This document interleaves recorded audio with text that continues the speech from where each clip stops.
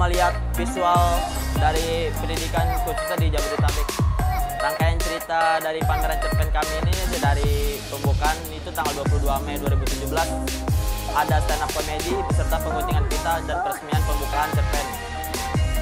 Yang hari kedua itu tanggal 23 Mei ada seminar. Seminar itu yang berjudul bagaimana memulai karir di bidang fotografi.